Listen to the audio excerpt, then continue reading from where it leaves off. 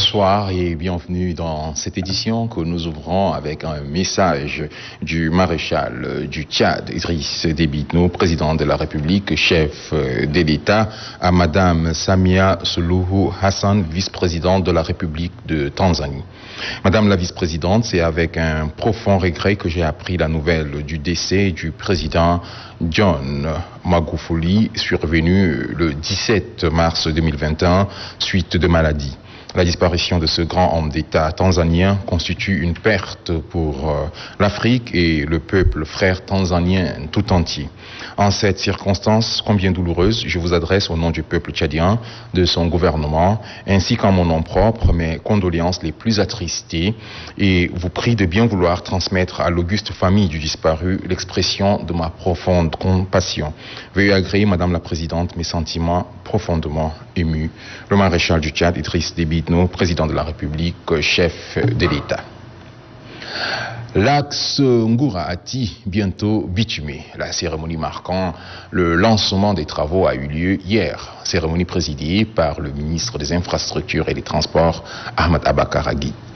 Il faut dire que ces travaux, que ces travaux concernent aussi la section N'Djamena Bulala, Ati, avec 10 km de voirie urbaine. Reportage Mamataïr Djibril Alhour.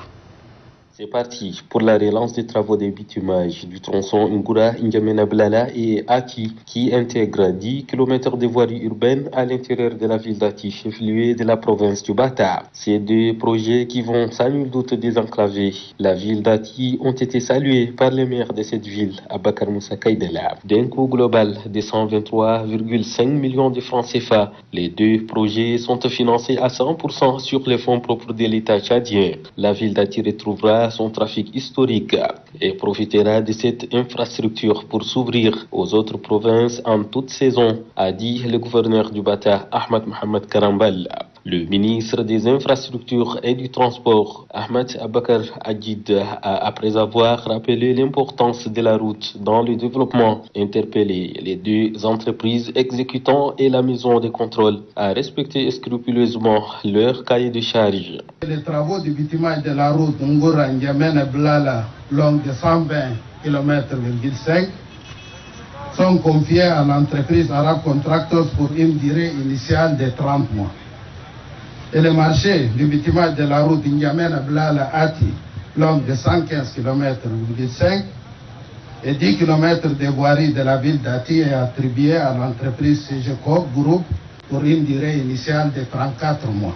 À noter que pour la section N'Djamena Blala Ati, les travaux de terrassement ont été réalisés jusqu'à la partie supérieure. Les ouvrages hydrauliques ont été aussi construits. Après le terrain, il faut revenir au bureau histoire de planifier les futures opérations de terrain. Le ministre des Infrastructures et des Transports, Ahmad Abakaragid, a reçu ce matin l'ambassadeur de l'Union européenne au Tchad, Kurt Cornels. Au centre des échanges, la coopération entre le Tchad et l'Union européenne dans le domaine des infrastructures. Falambi Soulgan. Reçu par le ministre des Infrastructures et des Transports, L'ambassadeur chef des délégations de l'Union européenne, Kurt Corneli, est venu échanger avec Ahmad Abakar Akit sur des sujets liés à la consolidation de la coopération dans le domaine des infrastructures entre le Tchad et l'Union européenne.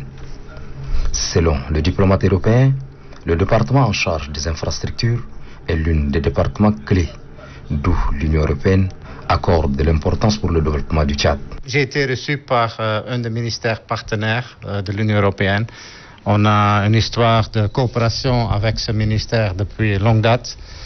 Donc on a passé à la revue un peu nos, nos, projets, euh, les projets qu'on a avec euh, le ministère en, matière d'infrastructure routière surtout. Et euh, ça a été un plaisir d'échanger avec Monsieur le ministre.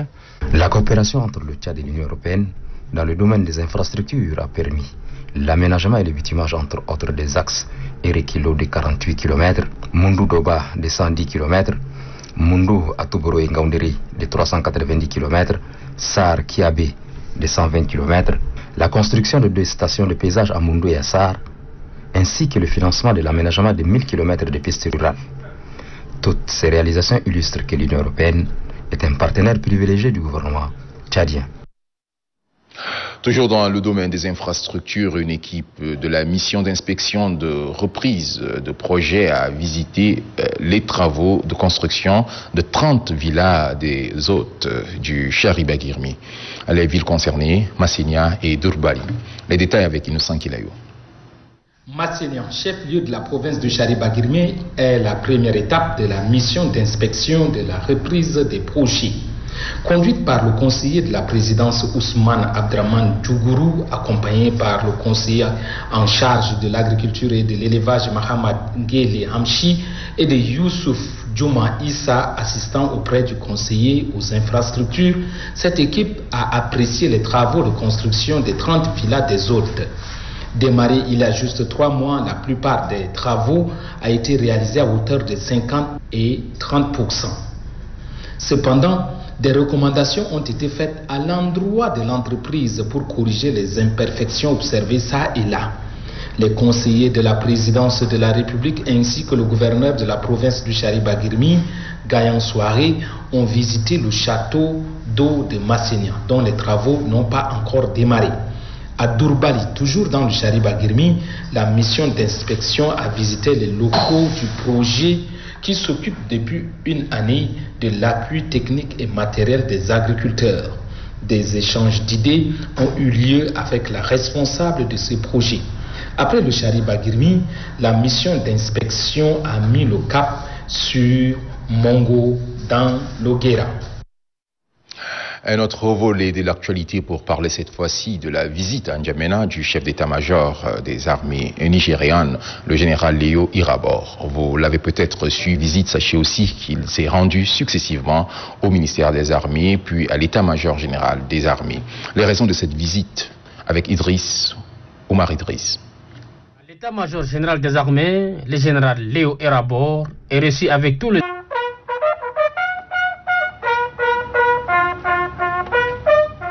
Chief of Defense Staff ou CDS, comme l'indique l'appellation anglaise du chef d'état-major général des armées, le général Irabor est en visite de travail pour renforcer les liens de côté à tête avec le chef d'état-major général des armées du Tchad, le général Abakar Abdelkarim Daoud, a notifié à ses hôtes que les armées du Tchad sont disposées à mener des opérations avec les armées nigérianes pour lutter contre le Boko Haram dans le bassin du lac Tchad. Déjà, les deux forces mutualisent leurs efforts à travers la force multinationale mixte dans les secteurs 2 et 3 autour du lac Tchad. Après l'état-major général des armées, le général Léo Erabor, accompagné de l'ambassadeur du Nigeria au Tchad, est allé rencontrer le ministre des armées, le général Dimadoum Tiraina. La délégation a échangé avec les staffs du ministère sur des questions sécuritaires et le terrorisme dans la sous-région. Pour le ministre tchadien des armées, ces questions méritent des solutions idoines.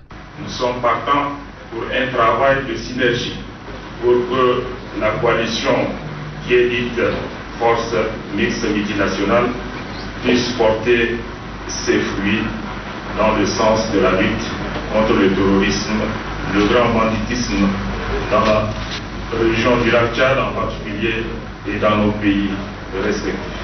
Le général Liu Erabor dans le bassin du lac Tchad. Sa visite ici à N'Djamena renforce davantage les liens de coopération militaire entre le Tchad et le Nigeria. La lutte contre le terrorisme, il faut le dire, préoccupe le Tchad, le Nigeria et mieux organiser un atelier de partage d'informations sur les activités faites euh, par les pays membres. C'est le directeur adjoint de la coopération au ministère euh, du plan, Ibrahim Hassan Djokoy, qui a présidé la cérémonie en présence du coordonnateur de la coalition, Youssouf Ali Djorkodei. Baba Saleh. Sur la mise en œuvre de la restauration des standards techniques et la nécessité d'intégration entre les différentes activités clés pour la résilience. C'est l'objectif de l'atelier de partage d'informations dans le cadre de la coalition de cette coalition. À l'issue d'une lettre d'attente entre nos partenaires, la FAO, le PAM et le gouvernement tchadien, et le G5 Sahel ont signé et qui a permis de mettre en œuvre des coalitions dans les pays du G5 Sahel. Selon le directeur adjoint de la coopération au ministère du Plan, chaque pays membre du G5 Sahel a créé une coordination pour définir et adopter les rapports avec les partenaires techniques et financiers. En effet, en l'instar d'autres pays de la région du Sahel, Le Tchad est confronté à une série de défis persistants, notamment l'insécurité alimentaire, la malnutrition, la croissance démographique, la sécheresse, les inondations, les épuisements du sol dus au changement climatique, le conflit et l'insécurité à cause de groupes extrémistes djihadistes qui menacent la stabilité et la souveraineté des États. Cette coalition est une belle illustration des mutualisations des forces des États membres pour faire face à l'insécurité, aux défis de développement et au suivi des projets et programmes dans la région du Sahel. L'ambassade de Turquie au Tchad, de concert avec la Fondation Maarif de Turquie, a organisé ce matin une cérémonie pour célébrer les journées de 12 et 18 mars. Ces journées correspondent respectivement à l'adoption de l'hymne national de la Turquie, l'Istirlal Marsi, et la journée des martyrs ou la victoire de Tchanakali une victoire décisive de l'Empire ottoman pour préserver l'intégrité de son territoire. Il s'agit euh, d'une bataille navale. La cérémonie a vu la présence du secrétaire d'État à l'éducation nationale, Mustafa Mohamed Talko. Reportage, Mohamed Suleiman. Ces dates historiques correspondent à l'adoption de l'hymne national de Turquie et de la victoire des batailles de la ville de Kanakali contre les occupants. C'est donc grâce à cette victoire que le peuple turc accède à sa souveraineté et adopte son hymne national en 1921. Et c'est en vue de préserver sa dignité. Au cours de cette cérémonie, des personnalités importantes qui ont marqué l'histoire de la Turquie et celle du Tchad ont été citées. Il s'agit notamment de Yunus Emre et du professeur Abdraman Omar Al-Mahi, les premiers pour avoir contribué à l'humanisme mondial et les seconds pour avoir joué un rôle important dans les domaines académiques. L'ambassadeur de Turquie au Tchad, Kemal Kegisis, et le secrétaire d'État à l'éducation nationale, Mustafa Mohamed Talko, ont rehaussé de leur présence cette double commémoration historique. Pour le directeur pays de la Fondation Marc de Turquie au Tchad, les mémoires des martyrs de cette victoire restent à jamais gravées dans l'histoire turque. La nation turque a joué un rôle décisif dans le cours de l'histoire. La bataille de Çanakkale est une lutte pour le prestige et la détermination qui ouvre la voie à la victoire de la guerre d'indépendance en semant les grains de la conscience d'être une nation. La représentante de la famille du professeur Abdraman Omar Al-Mahi, en guise de reconnaissance, a remis un cadeau symbolique au directeur pays de la Fondation Marif et à l'ambassadeur de Turquie au Tchad. Il faut aussi dire que le président Recep Tayyip Erdogan, à l'occasion de la commémoration de la journée des martyrs et de la victoire de Tchanakale, saluant l'esprit combatif des Turcs, a publié un message dans lequel il dit, je cite, La nation turque qui a vaincu ses ennemis dans les conditions les plus difficiles est prête à sacrifier sa vie pour préserver son intégrité. Fin de citation. Les projets de modernisation des infrastructures de communication électronique et de la dorsale transsaharienne en fibre optique sont désormais opérationnels. Leur mise en exécution est décidée au cours d'un atelier de deux jours tenu du 16 au 17 mars 2021, organisé par le ministère des Postes et de l'économie numérique, celui de l'économie et de la planification du développement et euh, de la coopération internationale en collaboration avec les partenaires techniques et financiers. Thomas Ousmane Djali. Deux jours durant, les acteurs du secteur de l'économie numérique ont passé en revue toutes les problématiques liées à la mise en œuvre des projets de modernisation des infrastructures de communication électronique et de la dorsale transsaharienne en fibre optique. Des projets phares qui feront de ce secteur l'un des vecteurs essentiels dans le processus de développement du Tchad. Lucie des travaux a permis aux participants de remercier les différents acteurs qui ont contribué à la réussite de la tenue de cet atelier. Le conseiller juridique du ministre des Postes et de l'économie numérique, Dr Ousmane Houzibé, après avoir présenté la synthèse des deux jours d'assises, a formulé des recommandations allant dans le sens de garantir la bonne mise en exécution de ces deux méga-projets. Le directeur général du ministère des Postes et de l'économie numérique appelle chaque acteur concerné à veiller au respect des dites recommandations pour un bon résultat. Chaque acteur concerné par l'exécution des dix projets, maître d'ouvrage, maître d'œuvre, cabinet de contrôle et unités de gestion sont appelés à œuvrer conséquemment pour la mise en œuvre diligente de ces recommandations. L'exécution des projets PMIS et DTS est le résultat d'une coopération agissante entre le Tchad et ses partenaires au développement, financée à hauteur de 189 millions de dollars par la République populaire de Chine et de 30 millions d'euros par l'Union européenne. Vulgarisation de la législation et des procédures en matière de risques professionnels, c'est le thème euh, retenu par la Caisse nationale de prévoyance sociale pour un atelier de formation au profit de ses partenaires. Présidé par le directeur de l'administration du travail du ministère de la fonction publique, les participants conviés aux assises vont se familiariser avec divers thèmes euh, liés aux risques professionnels. Vareladj. Placé sous les auspices du ministre de la fonction publique, du travail et du dialogue social, la CNPS, Caisse nationale de prévoyance sociale, a voulu par le biais de cette formation de deux jours mettre à la disposition de ses partenaires la vulgarisation et les procédures en matière de risques professionnels. Singame Barnabas, l'un des formateurs retenu pour outiller les participants, énumère la portée de ces assises. Dans notre pays, particulièrement euh, au Tchad, les mêmes problèmes rencontrés au niveau de la gestion des risques professionnels dans le monde euh, se ressentent également chez nous, dans la mesure où, euh, pour que les travailleurs puissent produire euh, suffisamment de rentabilité, il faudrait qu'ils soient sains dans un milieu de travail.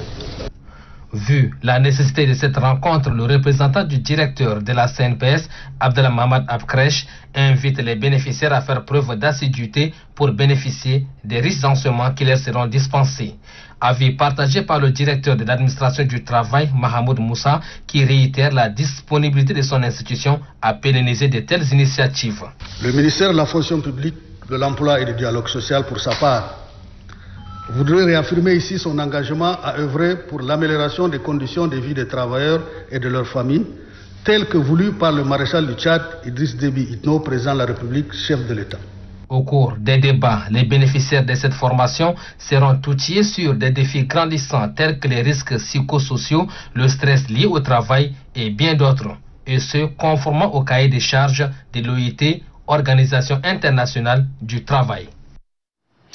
Les responsables de l'Office national pour la promotion de l'emploi ont visité ce matin différents centres de formation professionnelle, notamment euh, celui du ministère de la fonction publique, si au quartier Clémat, et le centre Topwood au quartier d'Iguel, en vue de constater euh, sur le terrain euh, le travail des stagiaires déployés par l'ONAPE.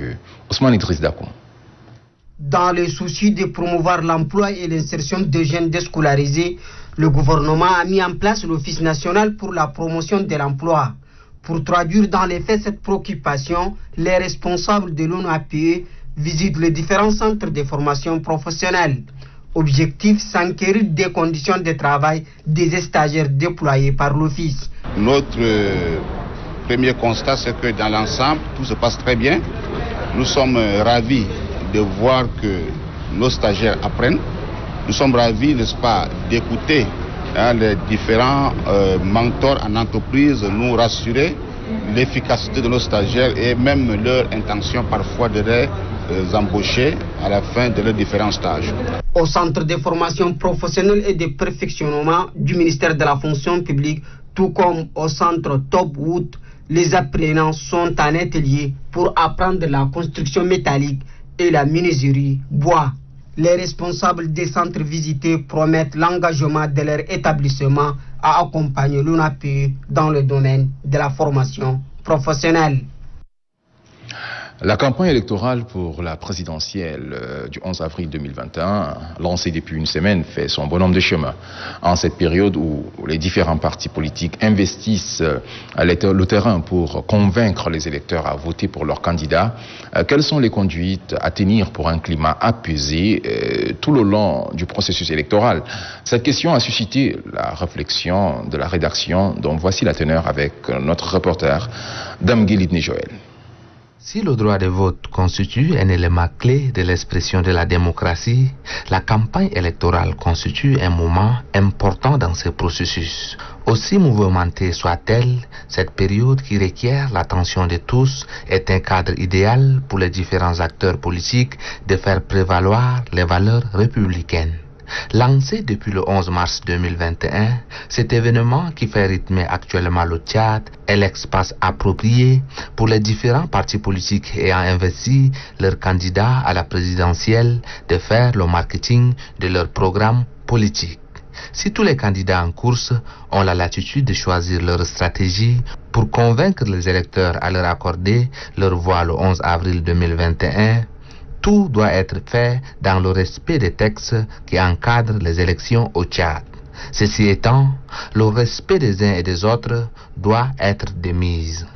Comme l'a si bien chanté l'artiste musicien Feu Talino Manou, un adversaire politique n'est pas un ennemi. C'est dire que chaque parti en course est tenu au respect des idées de l'autre, aussi différentes soient-elles de la sienne. Pour que cette campagne puisse permettre la réalisation du vœu de tous, à savoir le succès du processus électoral, les acteurs de la société tchadienne, surtout ceux plus proches de la population, sont invités à s'investir sur le terrain. Les religieux et les organisations de la société civile doivent accompagner la Commission électorale nationale indépendante dans la réalisation de ses missions et ce, en sensibilisant leurs fidèles, partant tous les citoyens à dépassionner les débats politiques en gardant à l'esprit que toute cette diversité de visions politiques constitue une richesse pour le Tchad. Aussi surtout que les Tchadiens de tous bords sachent d'avance que peu importe le candidat qui sortira vainqueur de cette élection, ce sera la victoire de la démocratie tchadienne. En un seul mot, c'est le Tchad qui gagne. Merci, Dame Guélitne Joël. Euh, sur ce, ouvrons la page consacrée à la campagne présidentielle.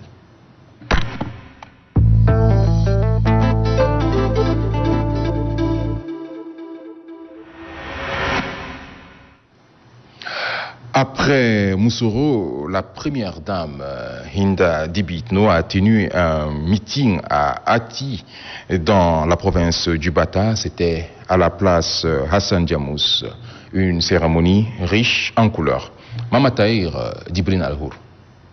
Militantes, militants et sympathisants du mouvement patriotique du salut et des partis de l'Alliance venus de toutes les localités de la province Bata étaient au rendez-vous à l'aéroport d'Ati pour accueillir la première dame, présidente d'honneur de l'organisation des femmes du MPS et représentante spéciale du candidat Idriss Déby Itno. Cette grande foule tenant des banderoles avec des logos expressifs. La visite de la première dame à Ati entre dans le cadre du lancement de la campagne électorale au niveau de cette province pour les candidats du consensus Idriss Déby Itno. Après l'accueil, la première dame et sa suite se sont dirigées vers la place publique pour les meetings prévus à cette occasion. Dans son mot de bienvenue, le directeur provincial des campagnes Ibrahim Sinoussi Imam a souligné que le Bata est connu pour son soutien sans faille à la politique du président fondateur du MPS. Pour les chefs des missions de la campagne pour les comptes du Bata, Dr Mokhtar Moussa, le Bata a déjà fait son choix. Dans cette province, le score du candidat du consensus sera écrasant et dépassera les 99%, a-t-il dit. Intervenant à son tour, la deuxième adjointe au directeur national de campagne, Madame Elise Loum, a expliqué à l'aide d'un comment voter correctement. Dans son adresse, la représentante spéciale du candidat du consensus et présidente d'honneur de l'OF MPS, la première dame Hinda Debi Itno, a d'abord salué le degré de mobilisation de ses camarades du Bata et leur demande toutefois de s'apprêter à voter massivement en avril prochain. Lors de sa récente visite à Ati, le président candidat a annoncé un nombre important de projets de développement au profit de la province du Bata. Ces projets, selon elle, sont en cours de réalisation cela prouve que le président candidat Idriss Déby Itno fait ce qu'il dit.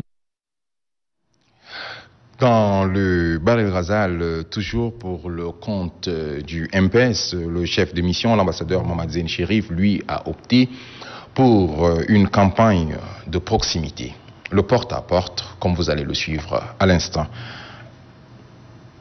La campagne présidentielle d'avril 2021 se poursuit à Moussoro. Le chef de mission, l'ambassadeur Sherif Mamazen, a visité quelques ménages et cellules des quartiers pour une sensibilisation de proximité. Dans ces endroits, le chef de mission, muni du a expliqué à la population comment voter le candidat du parti rassembleur Idriss Déby Itno. Nous sommes en train de sillonner la ville, donc euh, de visiter les différents foyers en faisant un peu le porte-à-porte. Et nous sommes en train de leur expliquer que malgré le degré de mobilisation, la détermination et l'engagement, si on ne sort pas le jour du vote pour choisir notre candidat, on n'aura rien fait. Dans le même élan, le chef de mission, l'ambassadeur Sherif Mamazen, a présidé la cérémonie d'installation de la sous-coordination du bureau de soutien, la Gazelle. C'est une équipe forte composée de 48 membres installés pour vulgariser les idées du parti et conquérir les électeurs.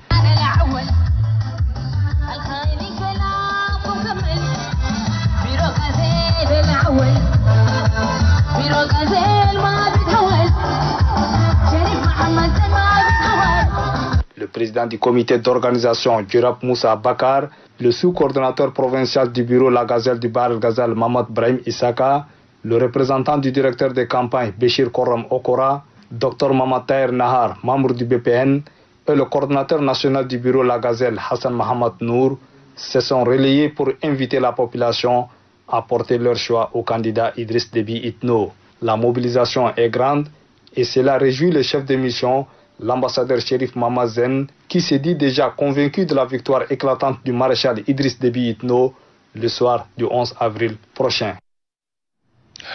Le MPS est en campagne dans les provinces euh, du pays, comme euh, vous venez de le suivre, euh, les grands communes de l'État, quatre de différentes localités, notamment du Lac, du Canem et du Silla, animent aussi des meetings en faveur du maréchal du Tchad Idriss Déby président fondateur du mouvement patriotique du salut. La mouture avec Varelach.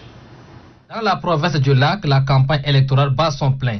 Une forte délégation est conduite par Adoum Forte Amadou, chef de mission de campagne du candidat du consensus, le maréchal du Tchad Idriss Déby Itno.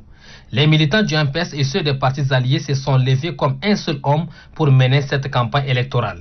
Le chef de mission Adoum Forte Amadou a appelé les militants à une mobilisation générale pour une campagne de proximité en vue de permettre au candidat du consensus, le maréchal du Tchad Idriss Déby de remporter l'élection présidentielle d'avril prochain dès le premier tour le chef de mission pour la province du Kanem, Mahmoud Abakar, et toute son équipe sont également en ordre de bataille à travers cette mobilisation des militants du MPS et ceux des partis alliés.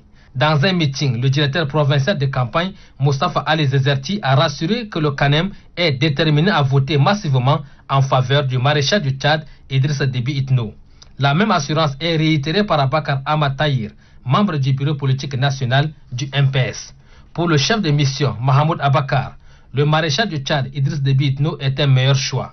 Le candidat du consensus, selon le chef de mission, incarne la paix et le développement. Pour preuve, il a cité les nombreuses réalisations dans divers domaines. La mobilisation est également générale dans la province du Silla. Dans cette province, le chef de mission, Abdelkarim Amadei Bakhit, a reçu un accueil chaleureux. Dans son intervention, le secrétaire général du conseil provincial du MPS, Mohamed Al-Zouar, rassuré de la détermination de ses camarades militants à mener à bien cette campagne.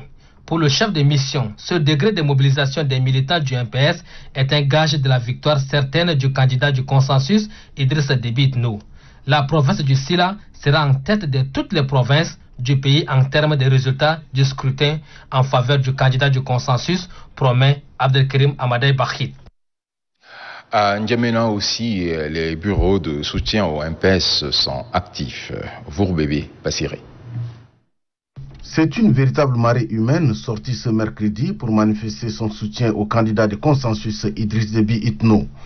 Des différents organes de masse et des bureaux de soutien au mouvement patriotique du salut et militants de partis alliés ont répondu massivement présents à ce meeting dans le premier arrondissement. Le stade municipal de Farcha contenait à peine cette foule compacte dévouée à la victoire du candidat de consensus. Le directeur de campagne pour la ville de N'Djamena, Abadida Mamar, appelle les militants du parti rassembleur et des alliés à voter pour le candidat de consensus Idriss Déby Itno. Le chef de mission de la campagne, Ali Haroun, invite les populations de 22 quartiers du premier arrondissement à opter pour une campagne de proximité pour un résultat escompté. Dans le 7e arrondissement, le bureau du peuple s'est rendu au quartier Boutal Bakara pour participer massivement à l'élection présidentielle. Les membres de la coordination nationale du bureau du peuple, conduite par Madame Kotoko Hamaï Makore, se sont rendus pour mobiliser et sensibiliser les militants de la sous-coordination de cet arrondissement. Même son de cloche pour le bureau de soutien d'Ulbarit qui a installé son bureau de sous-coordination dans le 10e arrondissement. Mohamed Ali Mohamed est désigné président de la sous-coordination du bureau de soutien d'Ulbarit dans cette commune. C'est le coordinateur général du bureau de soutien d'Ulbarit Abaka Dufun qui a installé les membres de la sous-coordination. Le président de la sous-coordination du bureau de soutien d'Ulbarit du 10e arrondissement, Mohamed Ali Mohamed, souligne que lui et son équipe sont résolument engagés pour assurer la victoire au candidat de consensus dès le premier tour. Les partis alliés ne sont pas du reste dans la campagne, c'est le cas de Al-Wassat. Ce parti réitère son engagement au président Idriss Déby Itno. Selon le coordonnateur national de campagne du parti Al-Wassat, Mansiri Lopsikreyo, ce parti adhère résolument au programme politique du candidat de consensus. Les militants de la coalition des partis émergents ont quitté depuis ce matin pour la partie méridionale et septentrionale du pays. L'objectif est de battre campagne pour le candidat, le maréchal du Tchad Idriss Déby Itno. Et enfin, les membres du cadre de concertation des partis politiques de l'opposition démocratique décident désormais de soutenir la candidature du président fondateur du MPS, Idriss Déby Itno, à l'élection présidentielle. Ainsi, nous bouclons le chapitre de la campagne présidentielle.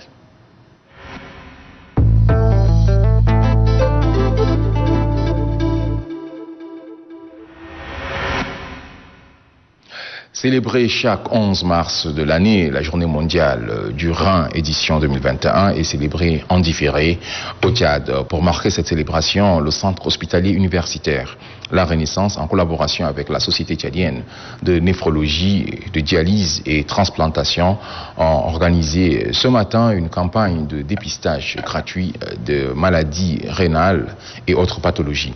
L'objectif est de prévenir la population sur les risques que présentent ces maladies.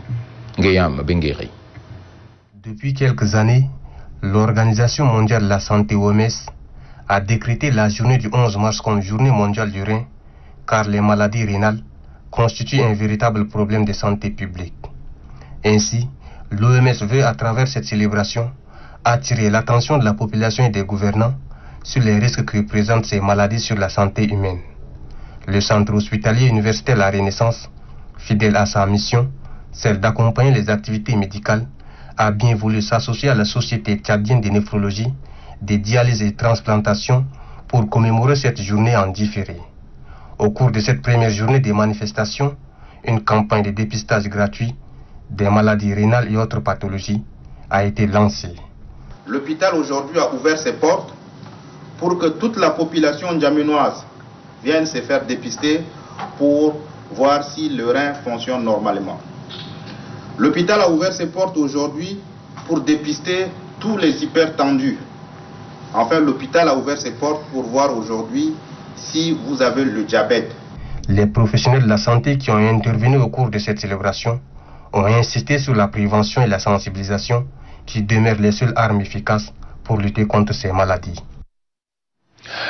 La première édition de la course de masse militaire et paramilitaire pour la paix est lancée ce matin par le colonel Omar Hashim, représentant le chef d'état-major des armées. Plus de 100 athlètes étaient en compétition à la ligne de départ à Farja, dans la commune du 1er arrondissement, pour une distance de 10 km. C'est au stade Idriss Mamad Ouya, dans la commune du 3e arrondissement, que les marathoniens ont fini leur course. Plus de 400 athlètes étaient à la ligne de départ à Facha dans la commune du 1er arrondissement pour se rivaliser sur une distance de 10 km. Après une dizaine de minutes de coups d'envoi donnés par le colonel Oumar Hachim, représentant le SEMGA, le chemin de la course se dessine. Betouji Valentin et Abdoulaye Adam Rubinho sont en tête de la course. Du rond-point Farsha, en passant par celui du Globe jusqu'au rond-point de l'armée, Abdoulaye Adam Rubinho était à la tête de la course avec un grand écart par rapport au deuxième. Il finit sa course au stade Idis Mamad Ouya, première avec un temps record de 40 minutes 46 secondes. Suivi de Betouji Valentin de la DGCE avec un chrono de 42,33 secondes. Et Alio Samuel ferme le trio avec 42,43 secondes. Chez les dames, l'honneur revient à Frida Assanat, une habituée de la piste de la police municipale, avec un chrono de 49,5 secondes. Elle est secondée de sa rivale de tous les temps, Atnanta Prudence de l'ENAT, avec un timing de 52,20 secondes. Et la troisième place est occupée par Njenandoum Anastasie de la direction des sports militaires interarmés avec un temps d'une heure 30 secondes. Une retrouvaille vivement saluée par le représentant du SEMGA. Le président du comité d'organisation, le colonel Ousmane Riki, remercie toutes les grandes formations militaires et paramilitaires qui ont pris part à cette cérémonie. Cérémonie qui marque également l'ouverture des activités de la saison sportive militaire et paramilitaire 2020-2021. Il est à noter que pour cette année, les dix premiers de chaque catégorie ont été récompensés. Des communiqués pour boucler cette édition, communiqués euh, du ministère euh, de la Santé publique. Le ministère de la Santé publique et de la Solidarité nationale informe l'opinion nationale que les démarches en vue de la livraison à notre pays du vaccin anti-Covid se poursuivent tant du point de vue des discussions avec euh, nos partenaires que de celui euh, des préparatifs en interne sous l'égide du Comité national de coordination et de la préparation du Tchad à l'introduction du vaccin Covid-19 créé à cet effet. Engagé dans le processus de la facilité COVAX, le Tchad a été l'un des tout premiers pays ayant élaboré et soumis son plan national de déploiement du vaccin anti-Covid. C'est ainsi que notre pays fut retenu pour être livré en vaccin au courant du mois de février dernier. Les informations scientifiques contradictoires couplées aux diverses interrogations sur le type de vaccin proposé à notre pays ont contraint le département en charge de la santé publique à décider de renoncer à la livraison programmée du dit vaccin en attendant d'obtenir des garanties documentées irréfragables sur son efficacité et son innocuité. L'enchaînement des événements récents au niveau mondial conforte le ministère et le comité de gestion des crises sanitaires dans cette position de prudence. Autrement dit, la situation sanitaire nationale était sous contrôle pour le moment. Euh, le vaccin qui sera choisi par notre pays doit présenter un bénéfice maximal et un risque le plus euh, minime possible. Aussi, le ministère de la Santé publique et de la Solidarité nationale rassure l'opinion qu'il appliquera à la lettre les hautes orientations du maréchal du Tchad, enjoignant d'opter pour un vaccin dont l'efficacité et la sûreté ne font l'objet d'aucun débat scientifique, étant entendu que la vaccination se fera le moment venu sur la base du volontariat. Le département de la santé publique est conscient que la transparence et la confiance créent les conditions de réussite de toute campagne de vaccination. Toutes les actions à venir dans le cadre de ce processus seront par conséquent conduites à l'aune de ces exigences. Signé euh, le ministre de la Santé publique et de la Solidarité nationale, Dr Abdoulaye Savarfadel. La situation épidémiologique de la maladie à coronavirus de ce jeudi 18 mars 2021 se présente comme suit. 577 échantillons analysés, 23 cas confirmés, dont un cas, un contact de précédent cas et un test post-mortem. 14 à N'Djamena, 5 au Moyen-Chari, 2 au Wadifira, 1 au Moyo au Kébi Ouest et 1 au Borko. 28 guéris portant le total à 3864, total de décès 157. 359 malades sous traitement. Le nombre des cas confirmés depuis le 19 mars 2020 est de 4380 répartis dans 18 provinces. La coordination nationale de riposte sanitaire invite la population à rester sereine, solidaire, vigilante et rappelle au respect strict des mesures barrières, notamment la distanciation physique. En cas de signes tels que fièvre, tout éternuement et difficultés respiratoires, appelez gratuitement le 1313. Le coordonnateur national des ripostes sanitaires, professeur Choua Houchemi, à la signature. C'est tout pour cette édition. Merci à vous de l'avoir suivi. Excellente suite de programme sur Téléchat.